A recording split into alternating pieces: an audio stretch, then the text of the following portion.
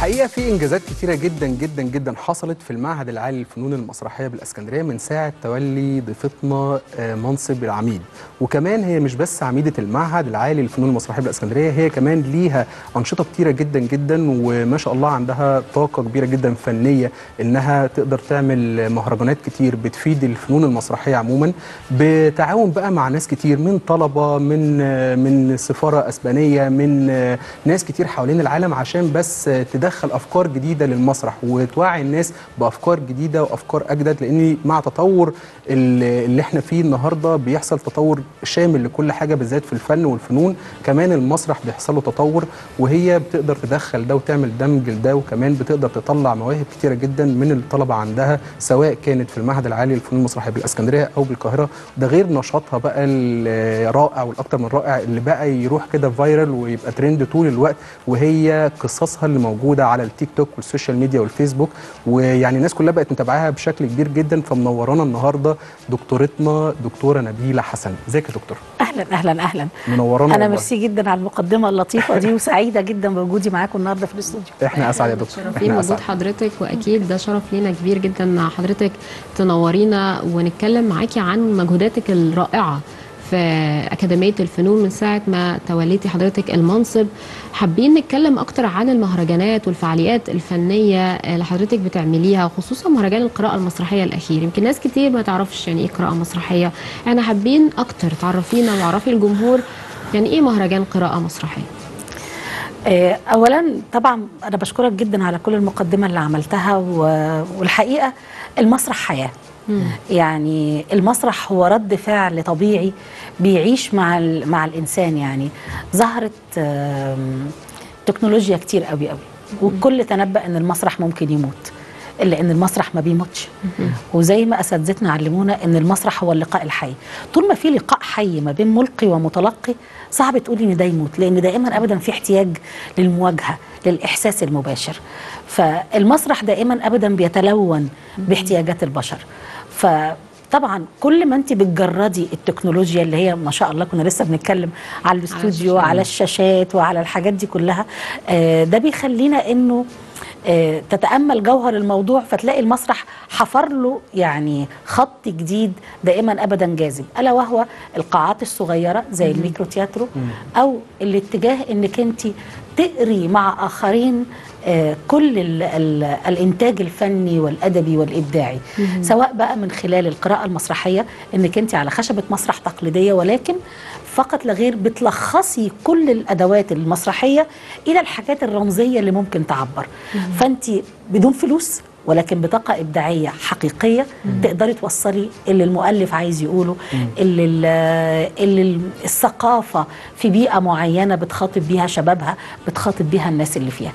فأنا دايما مع الخط اللي هو يخلينا دائما أبدا في حالة بهجة في حالة تعلم في حالة تواصل مع جمهورنا.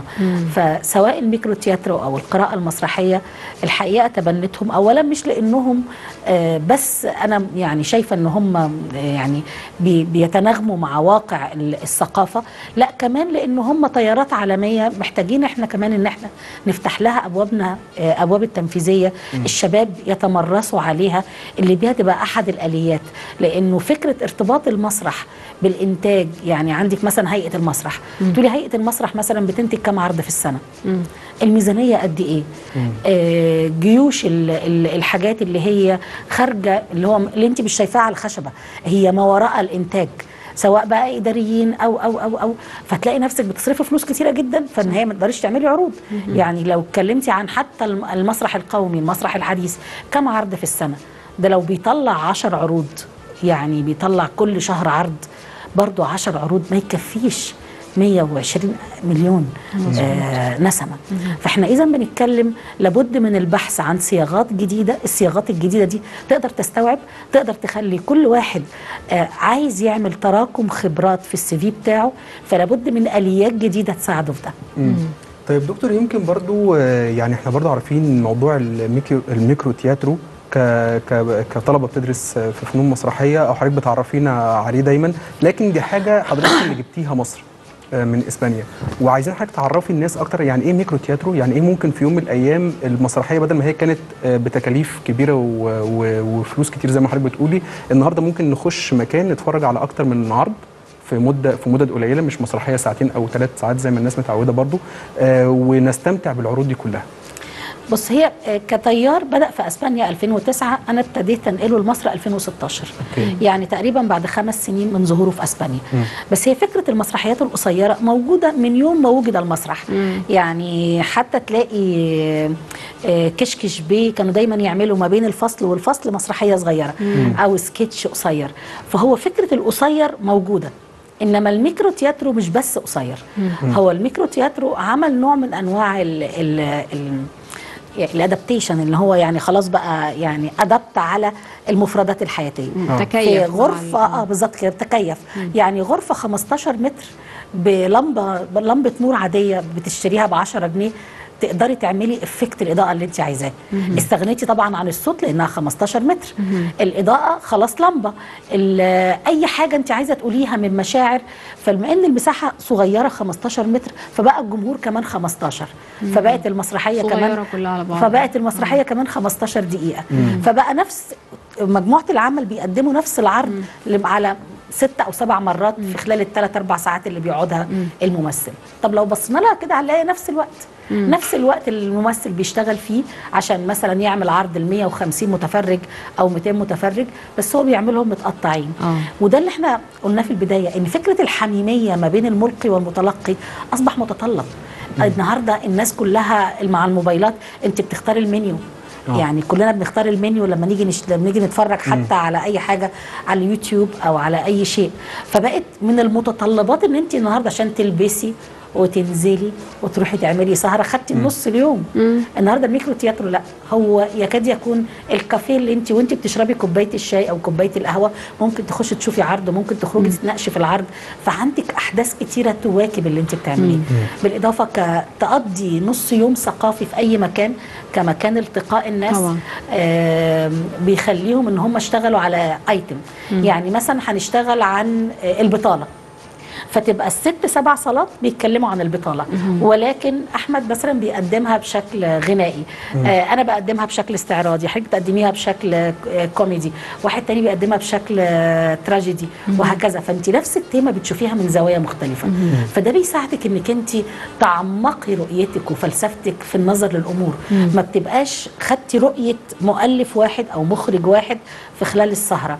كل دي أنا شايفة إن دي كلها آليات عصرية يعني أصبحت بالظبط. ضرورية في حياتنا. ما أصبحتش طيب إنها حلوة قوي يا دكتور بس حضرتك كنت بتقولي إنه المسرحيات القصيرة طول عمرها موجودة لكن دايما كنا بنتشد للمسرحيات اللي هي العرض الطويل ثلاث ساعات وأربع ساعات وكانت زي ما حضرتك بتقولي فسحة كده للأسرة إنها تروح تحضر ويقضوا سهرة فنية جميلة جدا ليه ما كانش في إقبال زمان على المسرحيات القصيرة أو الثقافة دي ما كانتش موجودة زمان ودلوقتي بدأت تتواجد بشكل أكبر وبدأ يحصل تفاعل معاها بشكل كبير جدا والله عصريا اللغة العصرية اللي إحنا عايشين فيها إحنا كل السرعة. حاجة في حياتنا بقت تيك اواي ف... فبقت الناس حتى ما عندهاش صبر. نسبة التركيز بقت أقل. فهي كلها استجابات عصرية. لكن ده برضو مش معناه إن المسرحيات الطويلة مش موجودة أو المسرحيات الإنتاج الضخم مش موجودة. لا موجودة ولكن برضو تنوعت. يعني أصبحت المسارح بشكل عام فقدت حالة الجمود إن ال stage ثابت.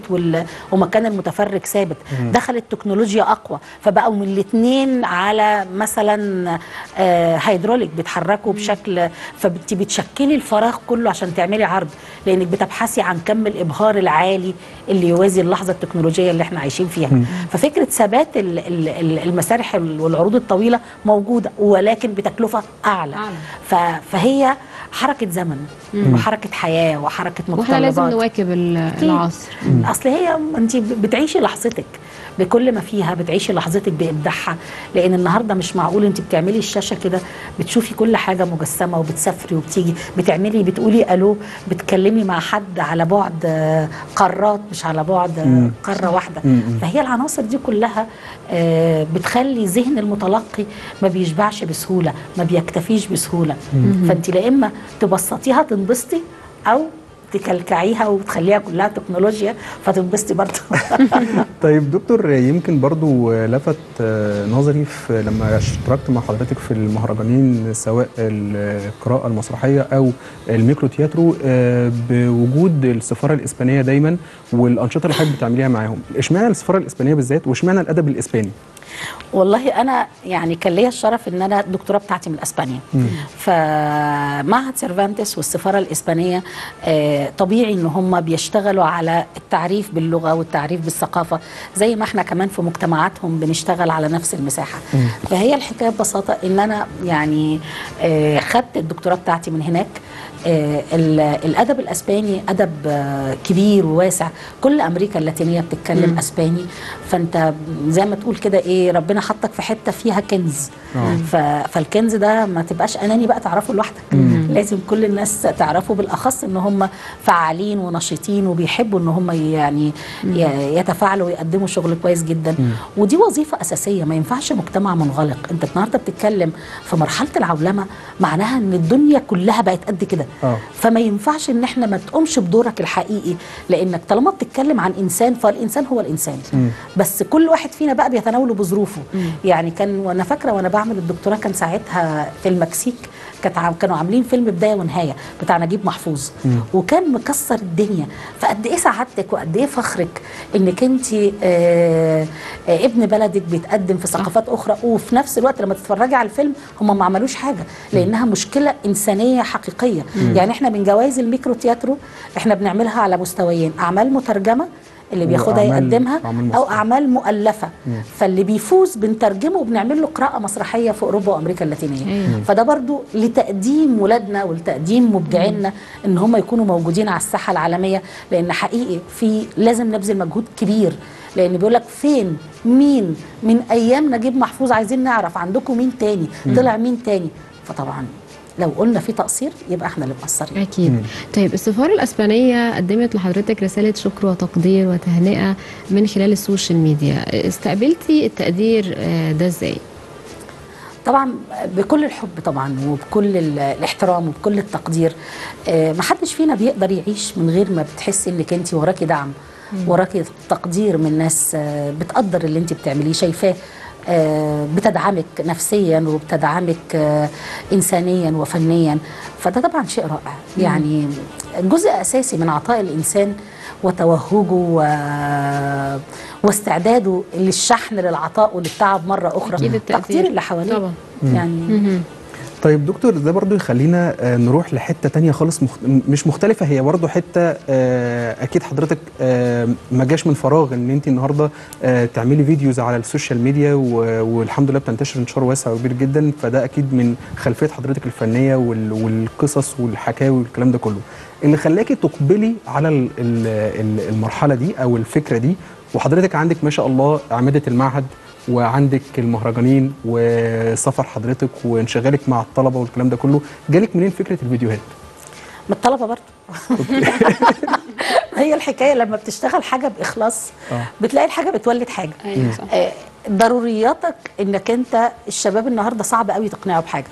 ودائما ابدا آه، في عندنا كده فريق الكنبة اللي على طول بيدي كل الناس كل ال طاقة جميلة. آه طاقة سلبية لأبعد الحدود. لا مش هينفع. لا ما يجيش. لازم نعمل حاجات هابطة. لازم نعمل حاجات آه، مش عارفة إيه. هو كده بس هنشتغل. اللي بيفرقع على ال social media وبيعمل ترند الحاجات ال- الخارجة لقليله الأدب كل بالعكس على فكرة. فتقعدي بقى تسمعي يا ولاد الحياة مش. كده. آه. يعني انت اعمل الصح وازرع وربنا هيخليك تجني في أي مرحلة من مراحل حياتك.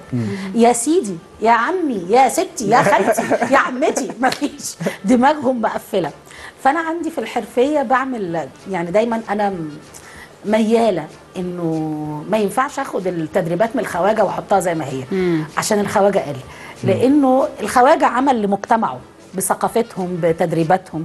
فأنا دائما ابدا ببحث على إيه اللي معانا وفي نفس الوقت آه، حاطة عيني دايما على إن الطالب يخرج معاه مهارات آه، يقدر يقدمها ويقدم نفسه بيها. بمعنى إنه النهارده السوق فيه دوبلاج ناس كتيرة فاتحين بيتهم الدوبلاج في حكي ناس كتيرة فاتحين بيتهم بالحكي. آه، في إنك أنت تبقي موجودة على ال social media قادرة على إنك تقدمي أشياء. ف... فدايما حاطة عيني على الحتة دي. وحاطه عيني إن هو لما يروح يقدم نفسه في مكان يبقى عنده آه، خبرات يقدر يقدمها يقول والله تقدر تتفرج عليا أنا عملت ده. فكنت بطلب منهم إن هم يعملوا حكاوي مصورة وينزلوا أيقونات لما اللي هو الكلام اللي بنقول عليه ما بين السطور. التمثيل مش هو السطور ولكن ما بين السطور.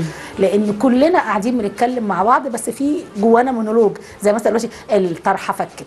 آه مش عارفة عملت إيه. الكاميرا جانبية. آه أحمد قاعد الناحية دي طب هبص لأحمد ولا هبص ناحية الكاميرا؟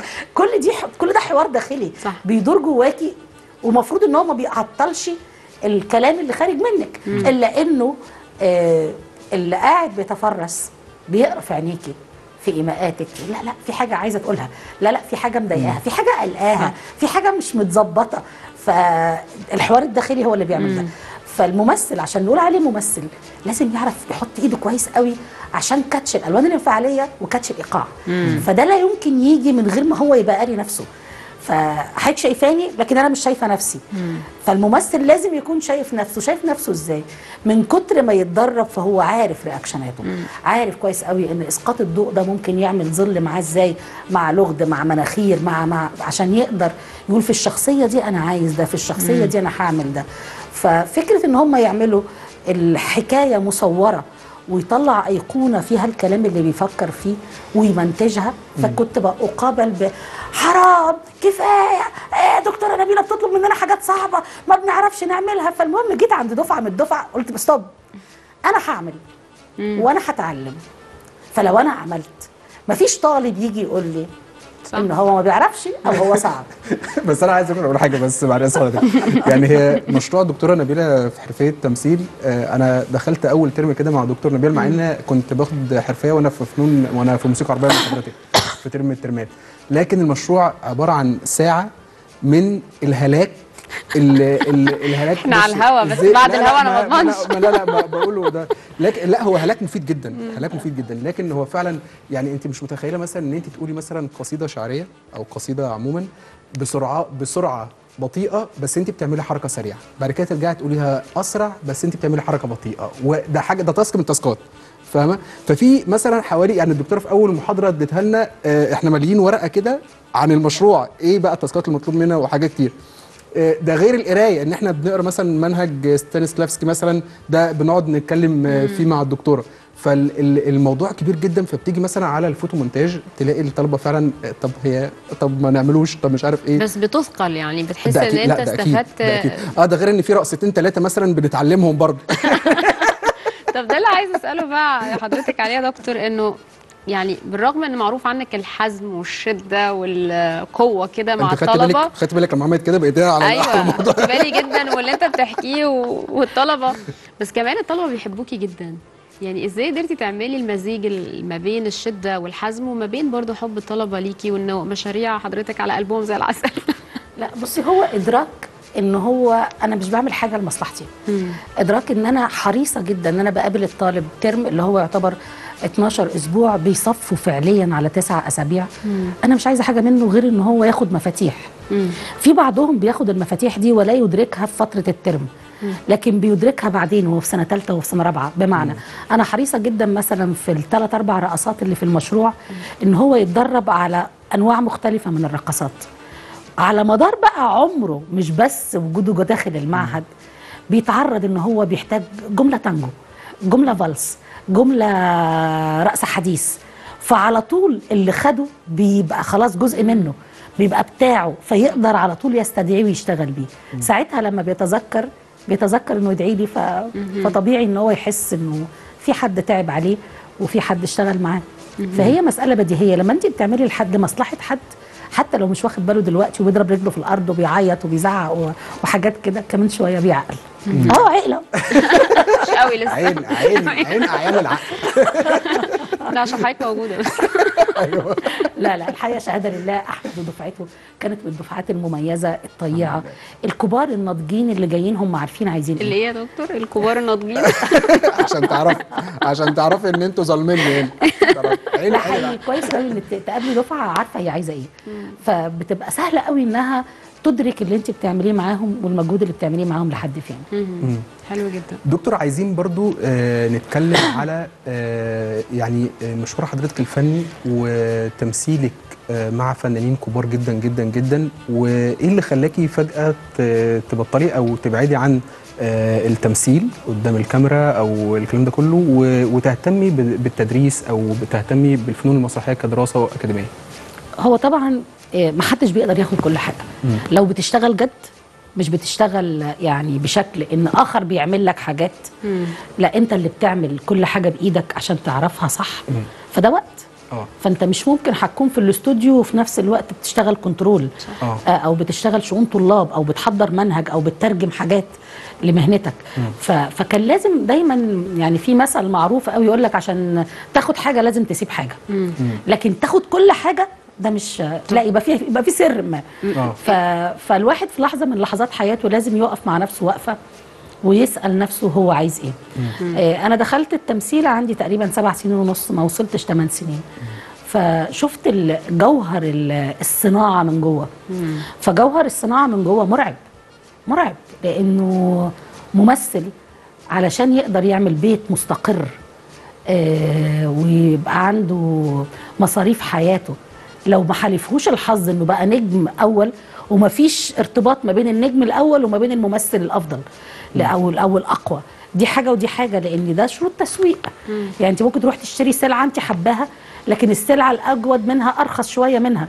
أو بتاع فالجودة وال- والشهرة اتنين ما لهمش علاقة ببعض لأن دي صناعة آه، قائمة على التدريب ودي تجارة قائمة على بتعرضي إزاي السلعة بتاعتك ومين اللي بيقبلها وآليات السوق شكلها إيه.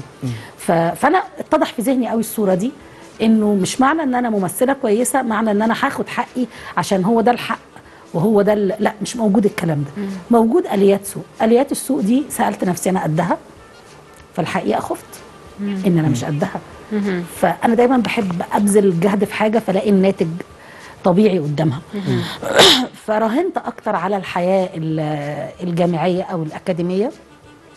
لكن أنا عمري ما بطلت تمثيل ما أقدرش لأنه التمثيل هو بالنسبة لي هوايتي وهو بالنسبة لي حبي و... والت- والتدريس سمح لي إن أنا أكون بمثل دايما. يعني أنا جوه محاضراتي بمثل. آه، جوه علاقتي بالطلبة كتير جدا. مثلا بحب قوي مادة الارتجال.